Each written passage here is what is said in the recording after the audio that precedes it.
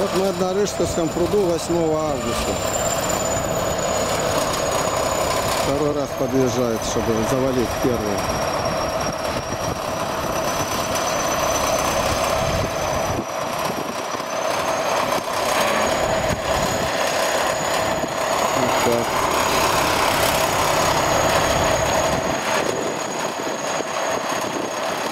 Погода сырая, дожди идут и опять дождь.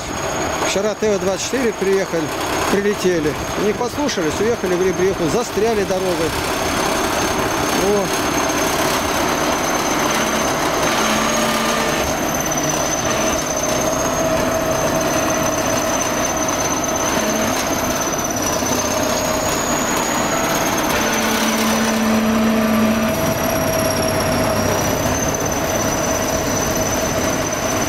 Так, Ямина. Вот это вот Рыжковский пруд. Вот он какой хороший, если поднять его на 2 метра. Вот Никита, Виталий. Видите, как сделали здесь точно так же. Вот эту вот прорву надо засыпать. Вот оно где. Как это получится, Бог знает. Ну, пока вот думаем. Так, пустые. Ты режь быстро, Виталий! Честно. Ну, если уже в район обратились, встречал, он говорит, мне не на чем, я не знаю на чем, я уезжаю, не поеду. Как они? Ну да. Он на Ниве еле пробрался. Я пробрался нормально, ну как, ну, тяжеловато, но прошел, и день пошел.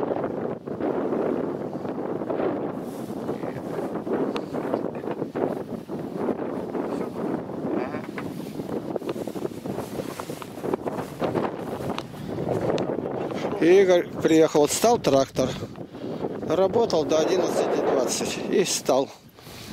Проехать нельзя. Позвонили начальству, бензовоз не может пройти. Но оказалось, что можно у Игоря занять и рассчитаться за счет того, что и говорит, 4 дня работы. Я говорю, не 4, а 3 меня держи рукой, подними. Я показать скажу, Игорь приехал. Вот привез сколько? 13 банок. По сколько литров в банке? А, 20, 20 литров заправил. И запасной еще 5.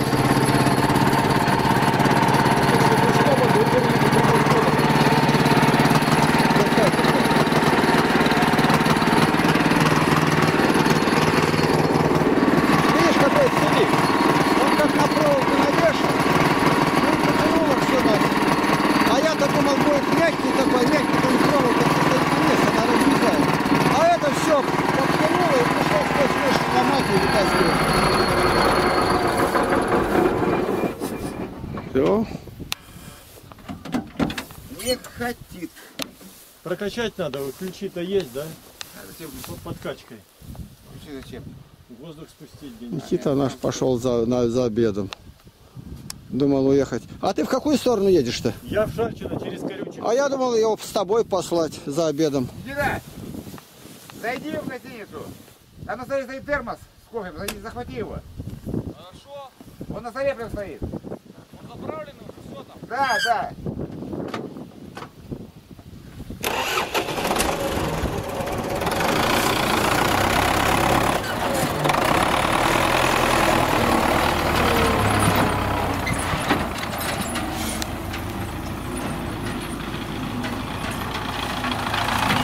Заправил. Все, пошел. Без двора большая Игоря Александровича никуда. И вот сегодня у нас понедельник, 8 августа. Дождь прошел, гроза. Все лето, даже не помнится, чтобы каждый день гроза. Три дня поставила погода, что успели собрать, остальное все опять пропащая трава. Ну да.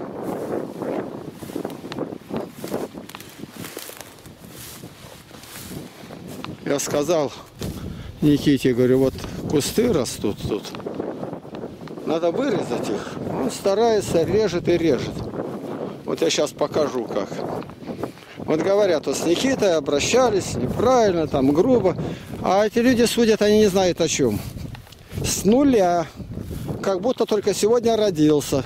А Колопопов крутился, духоносная. Вывели его, совершенно не знает. Как нынче, вот приехал Виталий, лопату от топора не может отличить. Я говорю, где он там дерево отрубил, он взял лопату, пошел рубить. Лопатой. Еще нормально. И все еще-то судят. Конкретно работать надо. Вот он приехал негодный такой. С ним и работаем.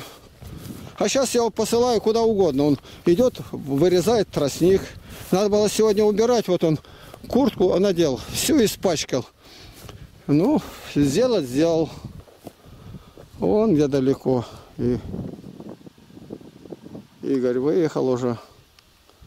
А здесь вот он бульдозер. Что-то не заводится. Сейчас.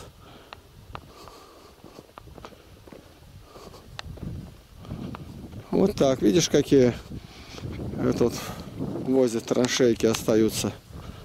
Я по ней иду, прямо вот уже по плотине иду. И вот кустарник, вот сколько он его нарезал. Убрать кустарник. Это все уменьшает площадь зеркала. Вот так пошел. А с левой стороны показать, с левой стороны. Тут все тоже кустарник. Там он тополя дальше растут, тополя. Это последняя, Бухта фамилия его жил. Зиновий. Имена были какие. Там дальше жил Коротков Паисий. Все, это при мне уже было все. Я их знал, людей этих. Кого раскулачили. Самые труженики были. Отец говорит, какие были. Ужас, какие вурдалаки пришли на землю все в 18-17 году. Что сделали? Ну, как неверующий был бы, как Колчак пошел бы воевать или в его войска. А так, знаешь, Господь попустил, и надо принять. Вавилон, значит, Вавилон идите. Кому в плен, в плен, кому под меч, под меч. Вот так. Вот он сколько вот эту березку освободил. Вот все уже прорубил. Видите, сколько он пропилил. И дальше. Но мне идти тут уже неохота. Я отойду и надо говорить, потому что трасса здесь более извилистая. Вот она уже поворот делает. Я показывал в самом начале, как здесь промыв, называем прорва. И вот думали, что проволока между ними натянутая, и она будет стоять, а земля просыпается. Но он захватил верхний слой, верхний слой это пласты. Ну и пласты эти повисли, она же прорезать проволока не может их. И пришлось все это, она наклонилась, давай ломать и все выбросили. Это мы дня три потратили вот на это, шкурили, привозили, длинные, выламывали. И оказалось, что ничего этого не надо. Вот оно где. Даже вывернуть не могли. Вот пилой придется вытаскивать. Вот так. Вот уже выхожу. Прямо. Здесь везде норы. Наступить нельзя эти бобры. Привезли соломы. Решили тут бутить. Ничего этого уже не потребуется. Вот он трактор тронулся. Вот сейчас я посмотрю, что у нас получилось. Вот он пошел, бульдозер. Так, 13 часов. 13. 4 минуты уже скиды, 13 и 4 час дня. 11.20. Ну, 40. Сейчас 40 простоял трактор. Но благодаря Игорю Барабашу снова двинулись. И вот теперь я уже показываю опять саму, сам пруд. Это озеро настоящее будет. Тут много уток, рыба, все. Ну, как удастся. Как вот уже прошел я пешком. Он гонит землю впереди себя. А тут все вокруг кусты, кусты и кусты. Пасмурная погода, показать какие облака.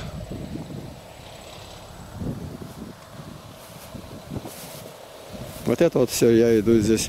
Это плотина дальше-то. Ну, он с оттуда будет брать, тащить сюда, вот чтобы выровнять.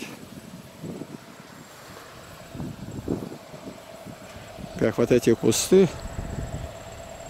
Здесь с этой стороны Никита уже выбрал. Здесь дальше будет выпиливать, когда придет после обеда. И выпилит. Вырежет все.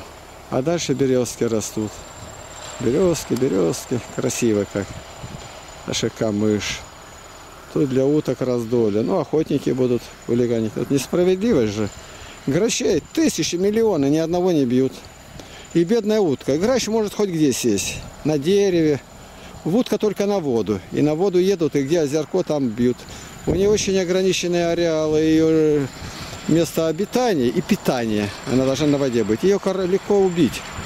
И бьют, и бьют, и бьют. Миллионы охотников во всем мире. И однако она живет. Убить не могут. Она не 12 там яиц приносит. Это так Господь уже допускает. Вот он идет. Бульдозер Волков Владимир Иванович. Сейчас сообщили, что ТВ-24, они проехали Мамонтовский район, самый район, и там заявили, что им нужно Потеряевку.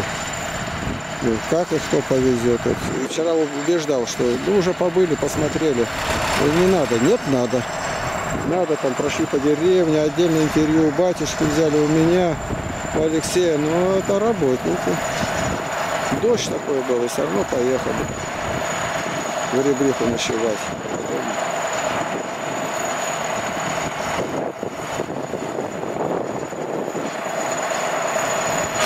Вот подходит тебе к этому месту.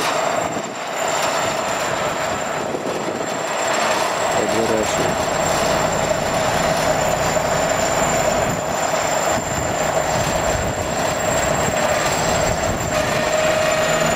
Вот так. Все, пошел назад. Это вот сейчас с другой стороны завозит. Верхний дерн. Вот сюда вот. Спихнуть его. Палка.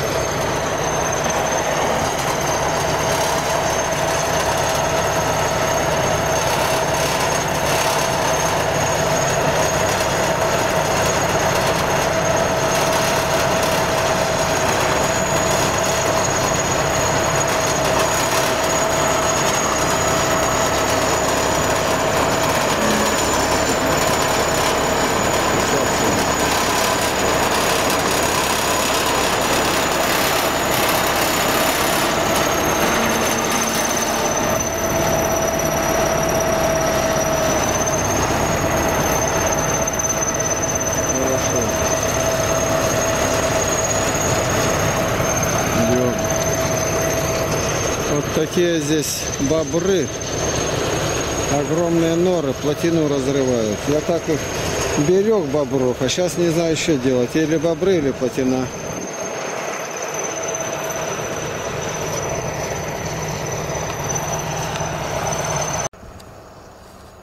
Это показался Никита.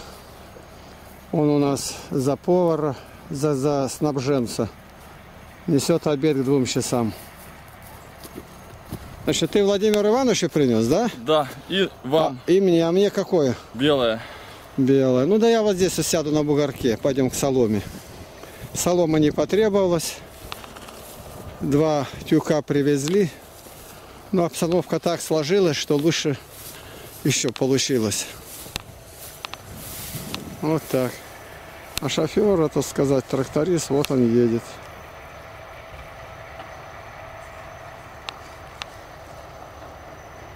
Раскладывай.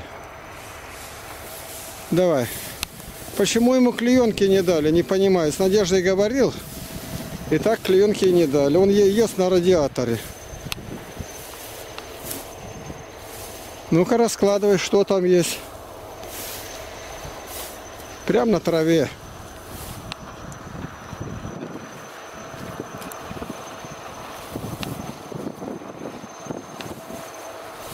Лепешка, помидоры. Это для меня.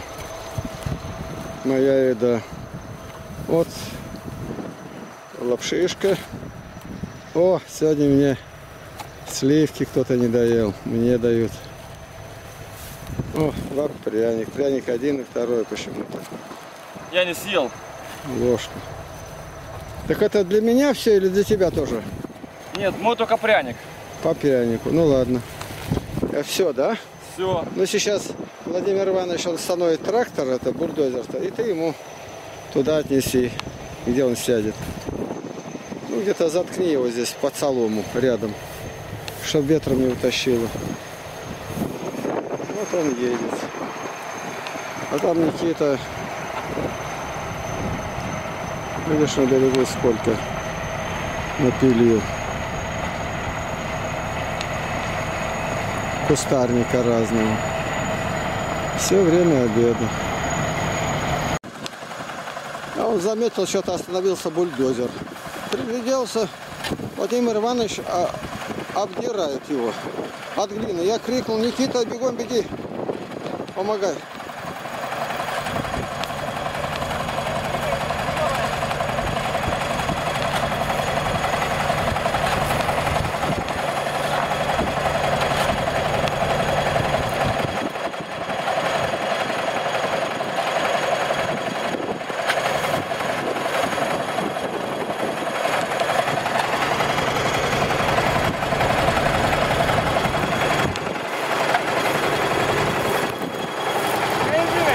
Пускай.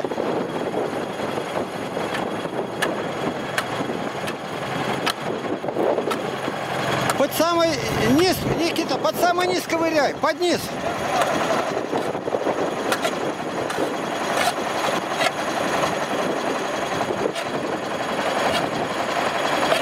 И отворачивай. Попадай, отворачивай.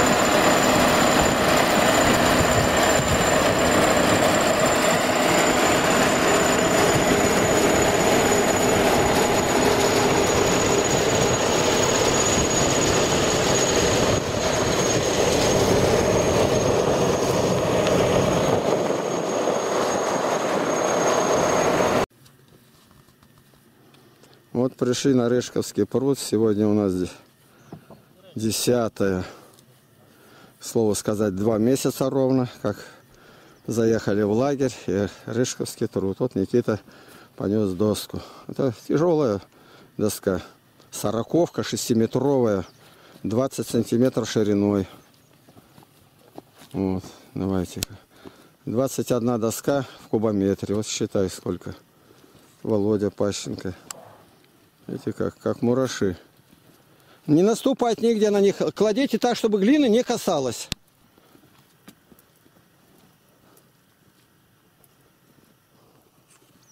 Это Виталий Калиников.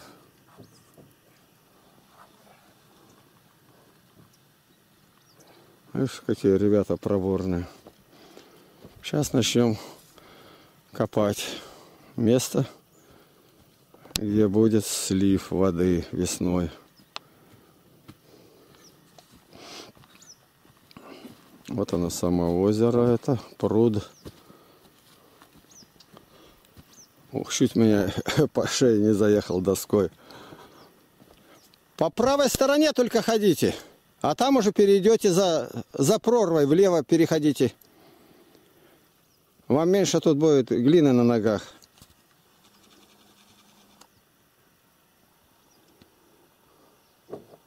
Смотри, Виталий, чтобы никто глины не касался, иначе нам мазать-то что, глину придется, а не доску. Тишина. Вчера дождь мочил, мочил, мочил.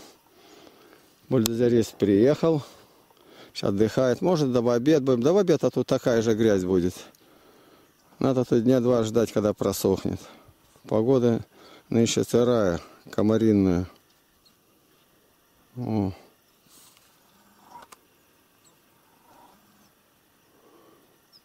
Как ребята. Вчера Виталий было выехал. За непослушание отправил. Ну, дал шанс еще, если походатайствует священник, батюшка и барабаш, который берет на постоянную работу осенью. Пошел сразу к двоим. Не хочешь уезжать? Нет, не хочу. Вот зазомбировался человек. Сейчас скажут там разные душители Скуратовы. Сами-то ничего не делают, и поэтому визжат вокруг моей колокольни. Это работа, большая работа проделана здесь.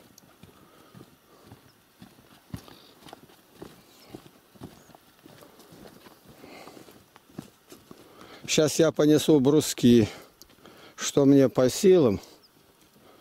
Туда. Вот осталось поле. Выровнял тут более. Это все разгладится и трава тут будет. Плодородный слой еще остается. А тут не бывает никто, ни скотины. Тут не пасут, не пашут, ничего нет. Так что экологически мы ничего не попортили. Зачем он туда полез, непонятно. Никита, а убери подальше. Вон что у тебя там, мазилю. Где-то поставь, чтобы взять легко было. А отдельно говорил канистру взять. Не принесли, наверное. Мазилка не хватит. Несколько раз говорил, Щарапа. Канистру не принесли у Нины? Нет. Мы вчера принесли 20 лет. Да? Ну тогда хватит. Давай. Второй ряд приложить, но там в начале глина. Мне надо убрать. На ногах все липнет, на ноги-то какие бутсы.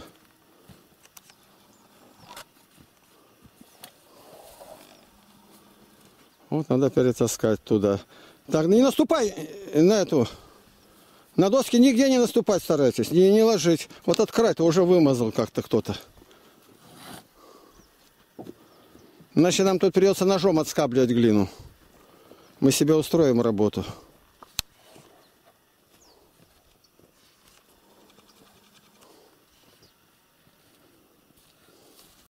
Так, 10 августа. Доски сносили. Вот это сказать слово сносили. По, по такой глине носить тут что-то у меня все выворачивается. Аппарат не, не умею держать. Вот сносили. Это 6-метровая, 20 ширина и четверка. 4 сантиметра толщина. Ну вот на кубометр надо узнать. Сырая доска. Сырая, совсем не сушеная. 21 доска в кубометре. Вот теперь пришли спуск воды, где будет.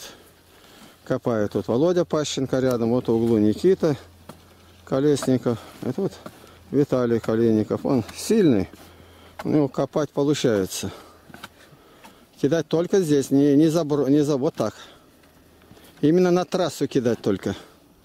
Володя, слышишь? Смотри, Виталий, как у Володя идет. У него пять бросков, у тебя три. А иногда два. Ну начни просто измени стиль жизни. Нас советская власть научила работать. Аккордные наряды были. Ни одного перекура. После смены. И за это тебе начислят что-то. А здесь вообще проспали страну. Что такое аккордный? Аккордный, ну то есть э, совместный и быстрый. Под ключ сдавали. чтобы хозяин мог войти в квартиру. Аккордные, заранее все нормы составлены с ускоренном темпе. И отличного качества, чтобы было. И умели работать. Дальше откидывайте только. Потому что там придется ощущать бровку. Ношу доски, вот и понимаешь, сколько везде лжи. Припомнился Борис Николаевич Ельцин. Отпевает, и какого-то там, конечно, архи или протодиакона нашли. Помяни, Господи, о царстве Твоем, первого президента Российской Федерации. Вот придумать это надо. Да Богу нужны наши федерации-то. Может быть, Бог слышит другое. Помяни первого пьяницу, первого обманщика, разрушителя страны, предателя. Как говорят коммунисты, говорят, осиновый кол только не хватало ему вбить в могилу. Может быть, по-другому. Богу нужны эти. Его высочество царя отпевали. Пулька в Пылбатевском дворце и все. Так это мученик. Это всю страну, говорит, под откос спустили. Первого президента. Первого разорителя такого. Ну, по крайней мере, не мстил за себя, это, это уже положительно. Он мне нравился, я не скрываю. Узники ходили, Новодворскую не посадил. Первого президента. Помяни мученика твоего, Господи, во царстве твоем, который принял. Этот шатался по белу свету-то, ходил в Вифлееме, а знал ли он Бога? Совершенно не. Внук там безобразничает где-то за рубежом. Это обман. На каждом шагу обман и Бога хотят обмануть. Бог знает наше состояние. Так, раз. Так, Никита, иди сюда ко мне рядом, стань. Вот сейчас смотри, одновременно считай, сколько Виталий выбрасывает. Виталий, в прежнем темпе только делай. А я за Володей, да. Раз, а ты за ним. Нет, я...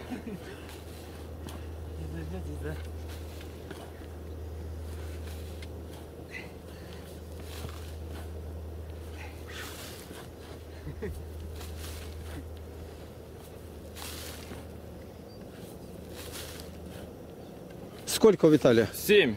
7. Так это он раза в два увеличил скорость, как, как обычно копает-то. Видишь как? 7. У Вол- у Володи 10. Вот и считай. Володя получит 7 руб... где-то 10 рублей, он 7. Смотрите, Теперь получается 7 тысяч и 10 тысяч. Разница уже большая. Это, Виталий, кидай только на трассу. Не на... Ты гляди, куда кидаешь-то. Обернись маленько. Ты просто за спину себе кидаешь. Прямо вот так кидай, как Володя. Володя кидает именно вперед, а ты через спину. Ну вот и все. Все доказательства.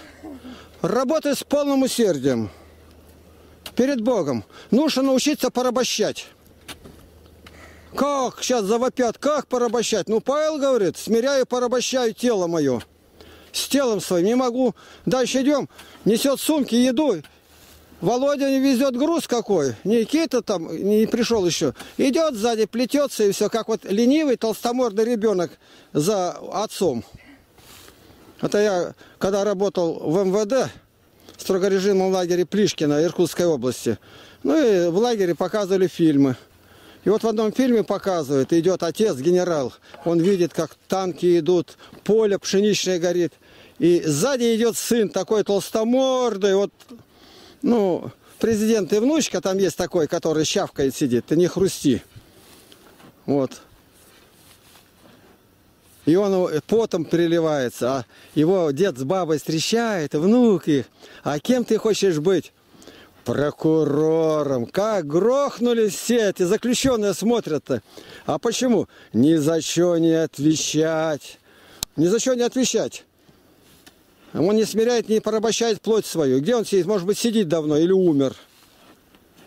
Вот Джейн Эйр, которые издевались над ней, это уже все умерли. Она все живет и радуется, и Бога прославляет.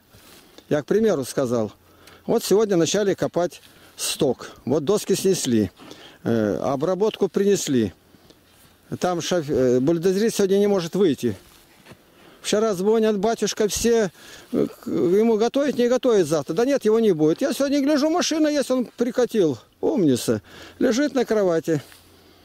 Ну все тогда, срочное указание, позвонил. Батюшка это остановил немедленно сообщить, чтобы готовили завтрак, обед и ужин.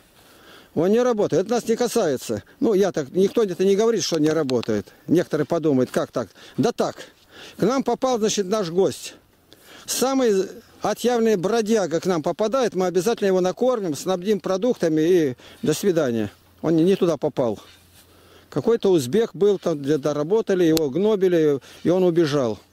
Я не могу. Сразу же вызвали медсестру, осмотрели, вызвали милицию, документы проверили и отправили. У него все в порядке. Но, видимо, э, недружно что-то получилось. Приезжает на заработки. Он нуждается в помощи, и весь сказ с этим. Так. Сейчас вот что, Володя. Переместись на бровку. Так, Никита, на бровку, которой ты стоишь, переместись. Также отрубай лопатой ее, вот которая с той стороны и с этой. Володя, вот эту бровку убрать надо, да. Да-да. Да. Чтобы начать мерить э, до доски, мне нужно э, свободу. А Виталий пусть один в яме сидит. Э, э, э, с той стороны кидай на ту сторону. Ну зачем ты придумываешь? Вот каждый раз какую-то новинку, кто его какой, говорит, чертяка под руку толкает. Кидал туда и кидай. На эту сторону кидать, подойди ближе. Ну нельзя так, прям такие э, безумные выходки делать. Кидать только на трассу. Потом притопчется. Это вот показываем мы озеро, настоящее озеро. Тут поднимем мы на два с лишним метра, наверное, воду. Ну и представьте, какая будет. Это все пойдет он. Вот это в этих кустах было. Мы тут маленько поработали. Никита резал, а я уж сколько мог там вытаскивал. Там по борту идет из, из этих. Его видно. Из сучков. Ласточки летают. Жили люди, раскулачили, все отняли, сослали, а от голода примерли. Она приехала, рассказывает, как. Клали людей, говорит, просто и все, лежали хоронить никто не может. Мы одни девчонки остались, там Агафья померла с голоду. Вывалили на пустынный берег. Ты же ходил раздеваться. Я переоделся, переобулся. Ты все время вот это брось куда-то дальше одежу. Ну нельзя так одеваться на работу-то. Ты посмотри, Володя весь мокрый уже. Никита в легонькой одежде, а ты надевает на себя. Много надевает на себя тот, кто мерзнет. А мерзнет почему? Потому что плохо работает. Смиряю, порабощаю тело мое. Порабощаю его и смиряю. О, квашня-то какая отвисла. Ну-ка, подними повыше, я гляну. Подожди минутку. Издалека гляну. Ну, ну что там говорит-то? О, мамона блудливая.